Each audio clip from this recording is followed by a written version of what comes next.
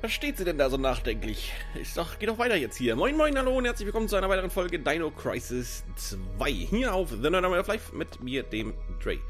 Und äh, wenn ich ein bisschen nuschel, dann liegt das nicht daran, dass ich hier vielleicht ein bisschen ähm, ähm, sondern äh, ich, ich kann halt einfach nicht richtig sprechen. Und darüber macht man sich nicht lustig. Ich darf mich darüber auch nicht lustig machen, denn über Menschen mit Behinderung macht man sich nicht lustig. So, direkt mal das Niveau gesetzt. Wir ballern hier zwei Dinos ab.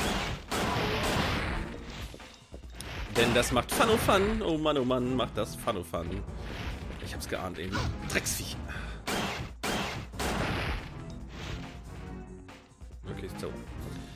So, genau, in der letzten Folge habe ich das äh, Schlüsselwort für die letzte Folge als Schlüsselwort, äh, nicht Schlüssel, einfach ein Schlüssel, Schlüssel, Schlüssel.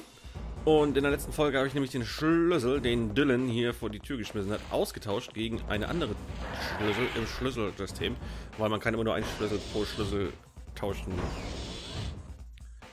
So, und zwar habe ich den grünen abgegeben und habe jetzt den blauen geholt. Äh, wenn wir uns zurückerinnern an das erste Max Payne hätte ich fast gesagt, das erste Dino Crisis, wo die Türen noch mit teilweise echt krassen Rätseln verschlossen waren. Ist das hier lächerlich.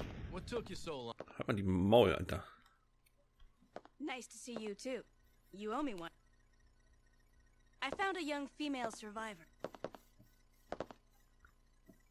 But she was uncooperative. I locked her up in the control ship. I'll take her back to the ship. You go on ahead. I'll meet you. Oh Gott. Regina ist mit dem Mädchen zum Patrouillenschiff zurückgekehrt. Dort drehen sie einen Film für Tube. Oder You. Ausgedreht weiter. Try to relax. es kann die ganze Hand reinpassen. What is wrong with you? You're a survivor, right? Please, we're here to help. Ja, man kann es mit diesen die Füße stampfen auf Metall rum Geräuschen auch übertreiben.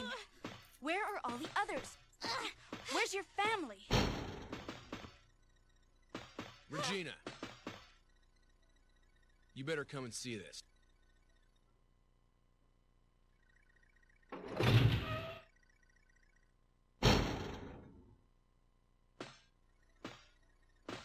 Trashed the place.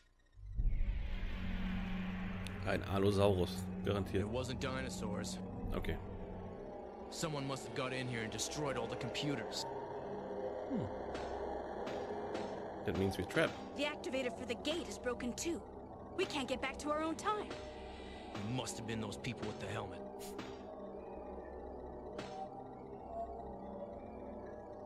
They also damaged the engine activator. We can't even move our ship. Okay. We'll have to look for something in this world in order to get us back to our original time. And we have to find parts for the ship. Hey! Before you go, handcuff the girl so she won't run away. There's a facility we haven't gone to yet. You gotta check it out. Right. Oh Mann, ey. Eh. Warum ist denn das so? Übrigens, wie immer, die Anmerkung, ich hoffe, dass ihr dieses, ich, diesen, dieses Masseproblem nicht hört. Ich weiß nicht, wie ich das beschreiben soll. Meistens kriege ich es rausgefiltert. Falls nicht, Entschuldigung dafür. Ich habe noch keine Lösung für das Problem. Calm down. I'm here to help you. Just calm down. Patsch. Look, I have to make sure you don't... Trust me. I'm an engineer.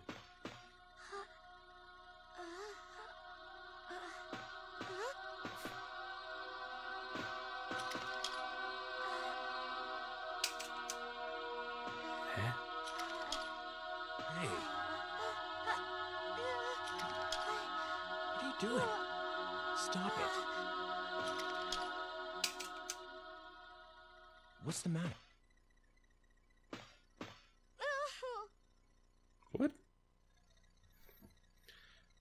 Die Missionsdaten wurden aktualisiert. Trad. Prioritätsmission.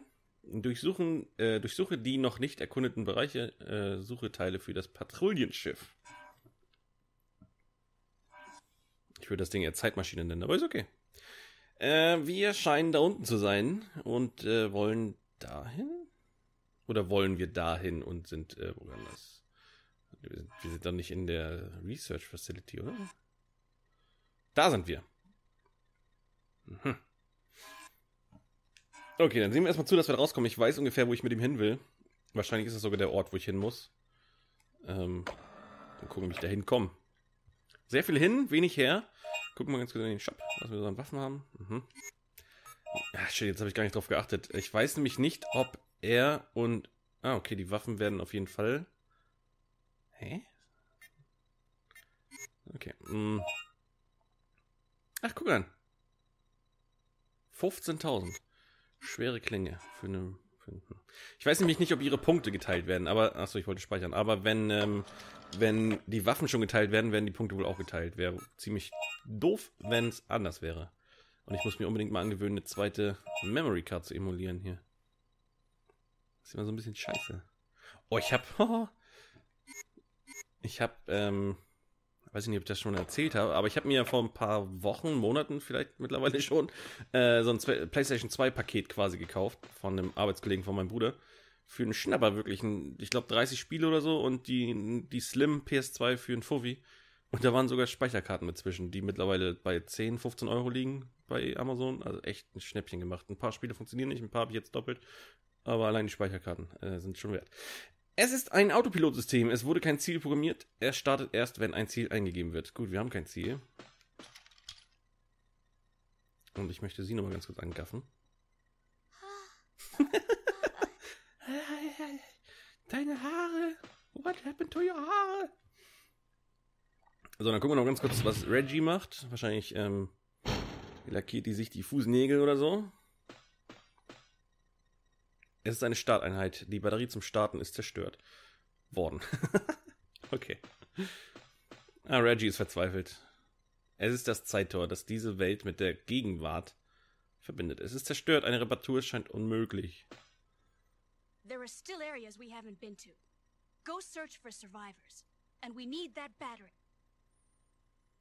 Yay, ein Resident Evil-artiges Spiel, in dem man eine Batterie suchen muss. Okay. So, auf, auf. Ähm, los geht's. los geht's die wilde Fahrt.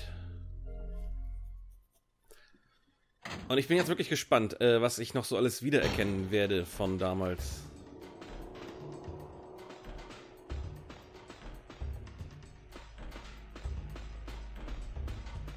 Es sieht schon nice aus, muss man einfach mal, kann man, also für ein PlayStation 1 Spiel ist es teilweise schon echt schick. Aber es war halt auch das Ende der PlayStation 1-Ära, ne? 2000, wann kam PS2? War das 2001, 2002 irgendwann? Also es ging ja dann irgendwann relativ zeitnah dann schon los. Und ich habe auch ein, ähm, oh oh. Wo? Da oben. Ein Alu, nee, doch ein Alusaurus.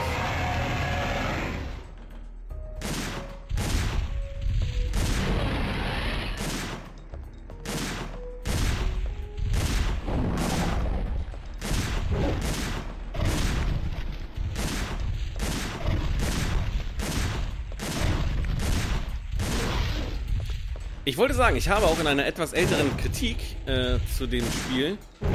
Ups. Oh, Alter, Alter, Alter. Oh, holy moly. Ich sehe nicht mal, wo ich bin. Hat er mich losgelassen? Ja, hat er. Und ich blute.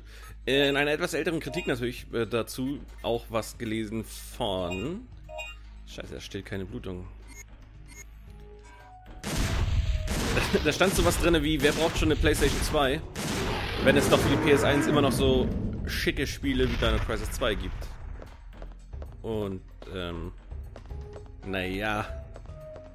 Also die, selbst die Anfangsspiele von PlayStation 2, wobei ich jetzt nicht genau weiß, welche das denn waren, sind, glaube ich, doch sehr viel schicker als äh, das, was man nie auf der PS1 noch so zu, zu, zu sehen bekommt. Ähm, selbst zum Ende der Ära. Übrigens, PlayStation 2 kann ich einfach mal so ankündigen hier jetzt äh, ohne dass ihr mich drauf festnageln könnt. Aber vielleicht habt ihr es auch neulich schon gesehen auf Twitter, Google Plus und Facebook. Muss ich ganz kurz mal überlegen.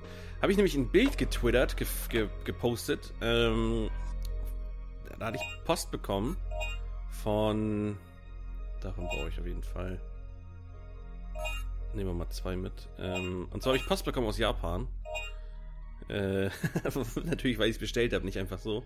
Und äh, auf jeden Fall wird demnächst wohl etwas äh, im PlayStation 2, aus dem PlayStation 2 Lager kommen, hier auf dem Kanal, was ähm, Japan-exklusiv ist. Aber äh, es gibt eine Fanübersetzung.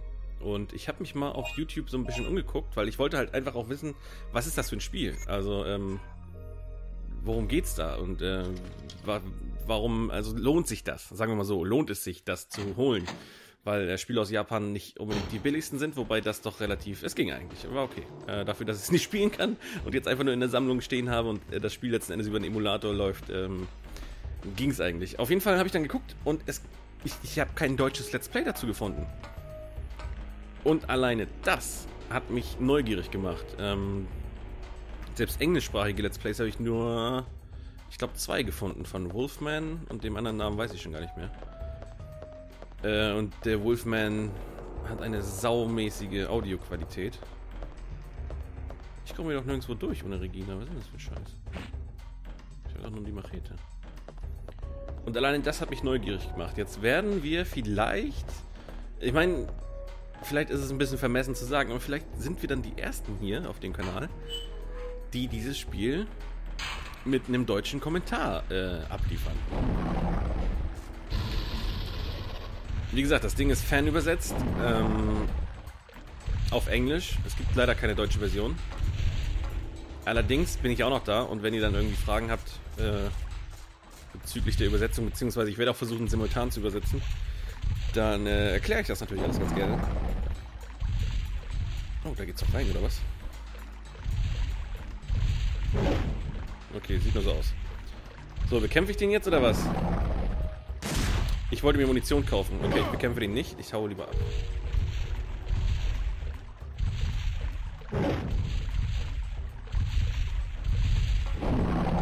Wie komme ich jetzt eigentlich auf das Spiel? Keine Ahnung. Namen sage ich noch nicht. Eventuell wird das auch gar nichts. Schauen wir mal. ich warte jetzt noch auf was anderes, nämlich einen Adapter für PC, dass ich mit dem PS2-Controller auch wirklich mit, mit äh, wie heißt das, mit Vibrationen und den ganzen Quatsch ähm, dann auch zocken kann. Gemütlich hier auf dem Sofa. Und äh, wenn das alles funktioniert, dann wird es das demnächst geben. Der Jeep wurde von einem Erdrutsch zerstört, er blockiert den weg. Das war, glaube ich, richtig gut.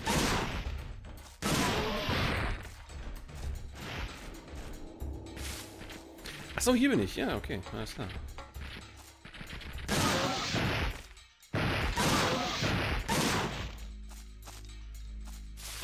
Mal schauen. Ich bin auch gespannt, ob ihr da irgendwie, ob ihr da überhaupt Bock drauf habt auf das Spiel. Äh, wieso das Feedback wird. Aber ich sag mal so, es gibt auf Rocket Beans TV, falls ihr das kennt, von den ehemaligen Game One Jungs. Die haben ihren eigenen Twitch-Sender. Scheiße. Ähm, gab es, beziehungsweise gibt es jetzt, glaube ich, ja wieder. Ach, das wollte ich nämlich gucken. ähm, Kingsfield 4 und äh, das Spiel, was ich zocken will mit euch, ist sowas ähnliches. Und das hat mir als Let's Play, als zu, zum Zuschauen wirklich sehr gut gefallen, weil das irgendwie, das ist voll entspannt. Keine Ahnung. Also ich fand das irgendwie witzig oder, oder schön mit anzusehen so. Und ich hoffe, dass ich dann mit dem Spiel, was ich dann zocken werde, das ähnliche kriege. So, jetzt habe ich hier, jetzt habe ich hier die halbe Folge nur über kommende Projekte, eventuell kommende Projekte gelabert. Jetzt muss man mal wieder auf das Spiel zurückkommen. Ich habe irgendwie das Gefühl, ich bin komplett woanders, wo ich vorher noch nicht war. Und, uh. Rexy, sexy Rexy, what's going on? What's up, B-Bro? B-Bro? ich muss mal gucken, ob ich hier überhaupt richtig bin, aber ich meine ja.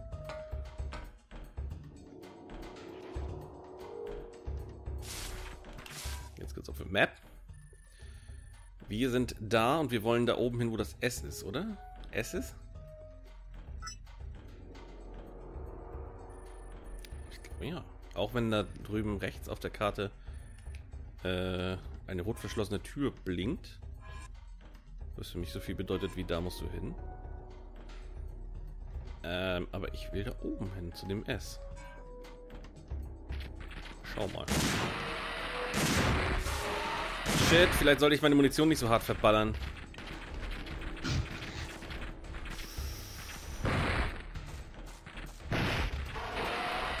Oh Gott, habe ich eigentlich die Flammenwerfer mit? Ich hoffe.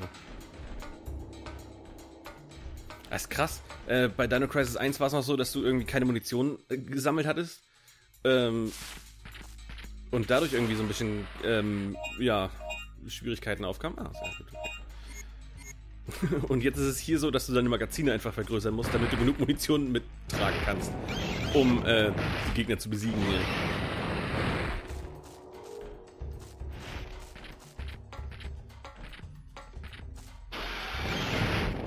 Aber ist ja auch so ein Ding, ne? Also du findest ja zwischendurch keine Munition. Ist natürlich eine feine Sache, weil warum sollten Dinosaurier Munition droppen oder sowas? Wobei haben sie im ersten Jahr auch nicht gemacht. Aber ähm, du musst dir den Scheiß halt, halt, kaufen. Und um dir das kaufen zu können, musst du die Viecher halt erledigen. Finde ich eigentlich ganz nice. So. Ist halt mehr ein Videospiel als alles andere, ähm, aber das ist ja nichts Schlechtes. Achso, und jetzt sind wir hier. Warte mal, hier. Nee, da waren wir da. Nee, nee, nee, da ist nicht, da ist nicht so richtig. Hier wollte ich eigentlich nicht hin. Okay, jetzt geht meine Orientierung wieder flöten. Nee. Nee, erstmal shoppen gehen. Ach, kann man an verschiedenen Portalen verschiedene Waffen kaufen, oder was? Aha. Also ich kaufe erstmal ein Magazin und zwar die Coupé. Coupé. Okay, füllt nicht auf. Schade. Ich habe nicht gedacht, dass man dadurch dann automatisch auch irgendwie die Munition aufgefüllt bekommt, aber nö. Aber nö. So, dann kaufen wir nochmal schnell ein Hämostat. Lass mal direkt zwei kaufen. Ein mittleres Medipack. Und dann nehmen wir nochmal ein großes, was soll's. So. Ich weiß übrigens gar nicht, äh, ob man hier auch wieder kombinieren kann, ob man quasi das Hämostat ähm, einfach äh, mit, den, mit, einer, mit einer kleinen oder mittleren ähm, Medi-Dingsbums äh, kombinieren kann und dadurch dann die Wirkungen äh, verbindet. Keine Ahnung, müssen wir mal ausprobieren. So, Giftzone. Giftzone. Jetzt gehe ich hier wieder runter. Ich glaube, ich bin falsch. Ich glaube, ich muss wirklich da, wo die Tür blinkt, oder? Missile-Silo kann ich wahrscheinlich noch nicht hin. Gut, ich guck mal eben, in welche Richtung ich gehe. Ja. Dann gehen wir zurück. Ach. Kaum sind die Pflanzen weg, kommen die Dinos, oder was? Schweine, ey.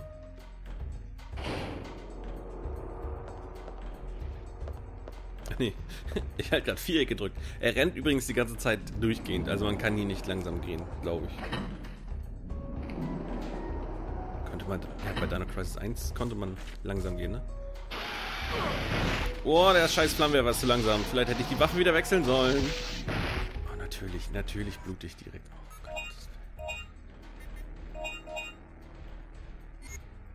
Oh, mm, Weapon, Hauptwaffe, Schrotflinte, gracias. Achso, mach mal. Ne, brauche ich ja eh gleich die Machete.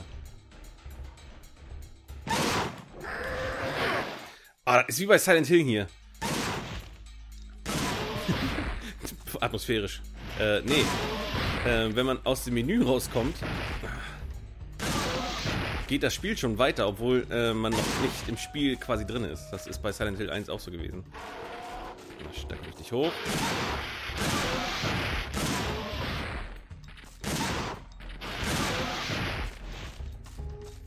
Äh, aber die KI, wenn du direkt vor Gegnern stehst oder so, die wissen dann direkt schon, äh, dann, da geht's schon direkt los beziehungsweise VI. Grüße an den Deber. Aber KI ist halt Marketing-Sprech und das funktioniert bei mir leider äh, sehr gut. So, wir betreiben wieder ein bisschen Back Backtracking, ist ja nichts Neues. Äh, Backtracking ist nichts Neues. Stimmt. Ja, gar ich noch, noch nie drüber nachgedacht. Backtracking ist nichts Neues.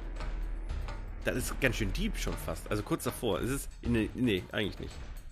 Eigentlich nicht. Eigentlich ist Quatsch. Tot? Wow. Ich weiß nicht, ob die Viecher irgendwie stabiler werden oder ob die Waffe schwächer wird mit der Zeit oder was. Äh, aber habe ich die Viecher nicht vorhin noch mit einer Schrotflinte mit einem Schuss gekillt? Alter.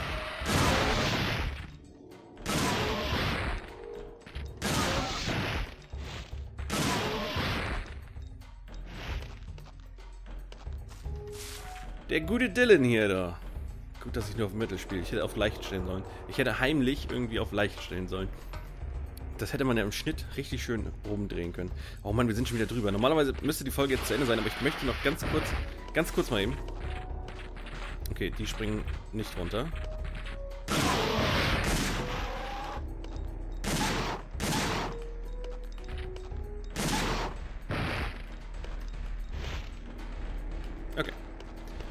Ich möchte zumindest in die Nähe des Zieles gelangen, zu dem wir wollen.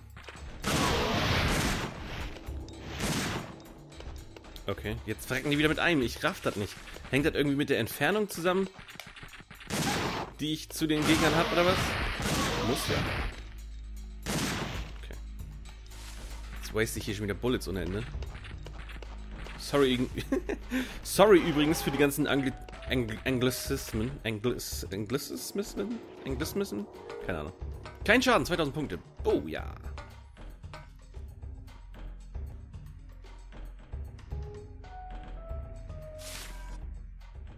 Äh, ja, genau. Äh, sorry für die Anglizismen. Ich versuche hier nicht äh, pretentious zu sein.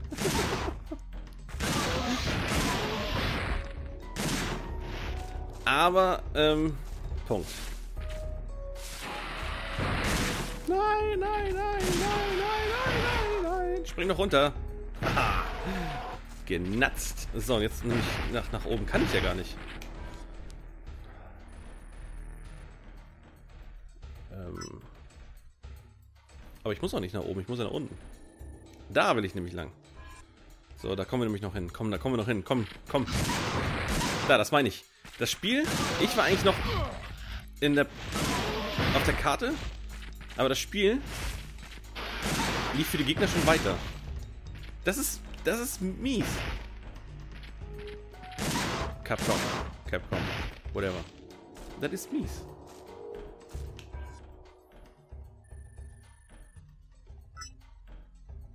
Hey, aber...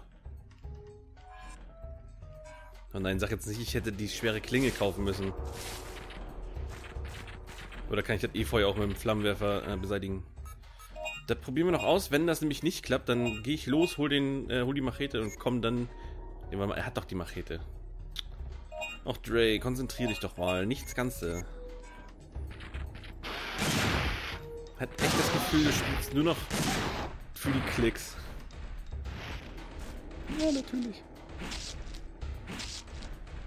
Okay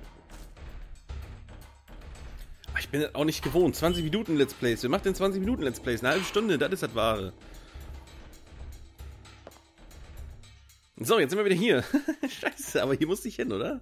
Das war schon richtig. Ja, es ist richtig, alles klar. Wie es weitergeht, sehen wir in der nächsten Folge. Bis dahin bedanke ich mich bei allen, die bis hierhin durchgehalten haben. Wenn, äh, schreibt es in die Kommentare, dann kriegt ihr einen Daumen nach oben dafür. Danke fürs Zusehen, bis zum nächsten Mal. Macht es gut und tschüss. Jetzt habe ich hier ein Peace-Zeichen in die Luft gehalten. Sieht doch eh keiner.